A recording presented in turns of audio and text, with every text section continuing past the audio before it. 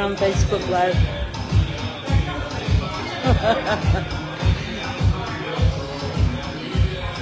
But it's actually kind of hard to tell in this light. Huh? Yeah. Huh?